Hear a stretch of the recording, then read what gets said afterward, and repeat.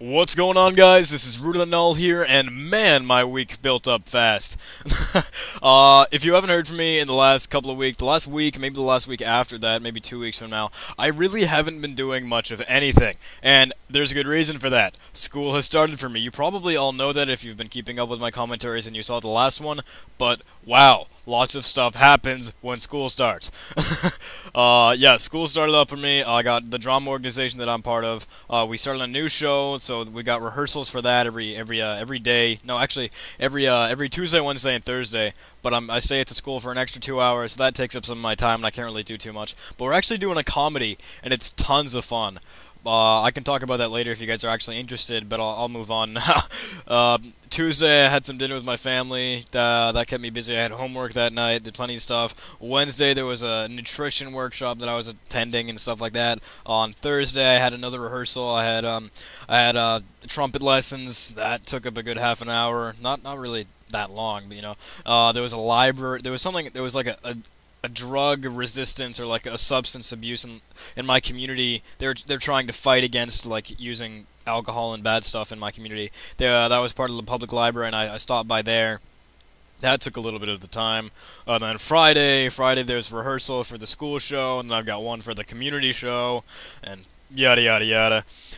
And Saturday, Saturday was uh, Saturday was actually my birthday. Uh, I got a couple of guys together and we went up to laser tag, and we had a blast. It was tons of fun. But yeah, that's just sort of like a quick run through of what I've been doing and a valid excuse as to why you haven't been hearing from me. But yeah, I mean that's that's all. so now I can move on towards the code and what you actually came here to listen to. Um, I'm not going to explain what's happening in this video because um, Actually, the code has already been written. This is just me commenting again. This is a tactic that I do when I, I like I, I write some code and I forget to record it for you guys, but I still want to show it to you. So I'll just comment through it and show the logic and stuff like that.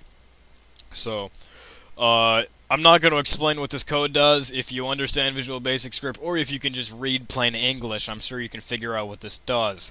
Um, I'm not really going to mention much of it but I am trying to focus on other things. Um, now that school has started for me, I am I'm like I'm active. I got things going on, and I have problems that I want to solve that I need to solve, that I need to solve, and I want to solve. You know, I, I don't know. I, I feel like I just mix those two words around, but whatever. So let's get this started. I have I have biology class, and uh, and last year I had taken uh, physical science, and that was actually a part of um, physics and chemistry. They just sort of like meshed the two classes together, and um, the chemistry part had something called balancing equations. If you if you're like a chemist or something, or you're, you've taken the class, I'm sure you know what I'm talking about when you're balancing chemical equations, stuff like that. Um, it's kind of a pain. it's like it's a it's an annoying process because you have all these elements and these atoms that you're trying to keep track of. Each one has their own specific um, like amount or the amount of subparticles inside them, and uh, it's it's like it's playing with multiple um, least common multipliers like LCM least common multiple, and um, you've got tons of them because you're trying to keep track of all these different um, all these different elements, all these different numbers, and it's just kind of a pain. So I realized that like okay maybe I, maybe I can help myself. Maybe I can solve this problem. And uh, what I'm trying to do now is actually develop a program that you use on the calculator the TI-89 the TI-84 stuff like that. You pro you guys probably know the TI-84 if you're a regular like high school or college student. TI-89 is better. You, you can see me like rant about that in, in uh, one of the posts on nullshell.com my website. So uh, I won't get into that. But yeah um I'm, I'm looking at that in TI Basic right now. I am using the TI-89 because that thing is friggin' amazing. Um, but I will be developing for the TI-84 once I finish that, like the idea. But it's it's still a thought, you know. It, it's never it's never a complete finished project, but it's just something I'd like to do. Because there's tons of stuff that I could be doing, and I've still got school and trumpet lessons and soccer games and all this crazy stuff that's just that's just filling up my filling up my time. But um, yeah, that's that's all there is to it. Um, I feel like the way we could do this is we'll have the user input a string where it'll it'll sort out and it'll it'll balance the equation for them, but they'll input an equation. Uh, I'm gonna like try and think of one at the top of my head right now. You're gonna need like carbon dioxide, so CO2 plus H2O for, for water plus energy uh, yields, uh, I think it was O2 for oxygen and sugar, so C6H12O6.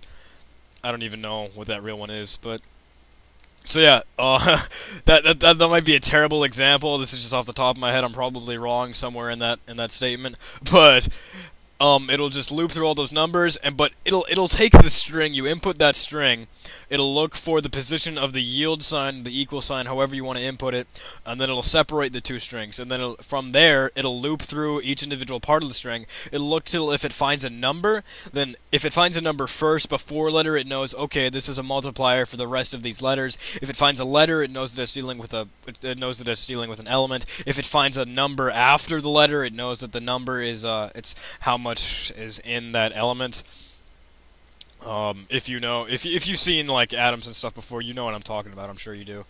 But yeah, so that's the idea with that. You just you add them into a dynamic array. You're gonna keep adding adding stuff onto them.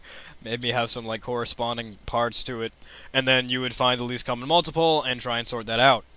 So it's really just a bunch of string processing and a little bit of math, but I feel like that's definitely a good idea and something I could do. But I, have been playing with the idea, and I, got, I feel like I got to do it in Python or something first, or at least like I have to type it out to get my thoughts straight and get the logic all set. Even though I just I tried to explain it to you right here. So yeah, um, but yeah, that's that's like that's all I'm working on right now. School's been keeping me busy. School's been keeping me wicked busy. Uh, I, am doing English. I got um, this essay that I want to do. I feel like I talked about this. Where you look, you it would look through uh, parts of it it would, it would, look through an essay. It would loop through it. It would it would find periods. It would find sentences. It would find paragraphs. It would it would count how many how many words you have in a sentence. Each each sentence in particular. It'll find the average. It'll uh it'll try and find like similes and verbs. It'll try and like get rid of the uh, the unnecessary words. Yeah, I, I, I think I remember talking to you about this with the front end of that essay thing, but I never really got to that one too. There's just so much that I want to that I want to do, and it, it all piles up, you know. But I hope you guys can relate to this. so, yeah. Yeah. Uh, not much left. Uh, I got 30 seconds, 20 seconds. The countdown is going. Uh, the commentary is coming to a close, guys. Thank you so much for watching. It has been a while since I've actually been up here on YouTube and on Nullshell and being active and stuff, but my mind is racing. There are so many new ideas and new thoughts that are coming to me, and it'll all be done eventually. Uh, so yeah, thank you so much for watching, guys. Uh, thanks again.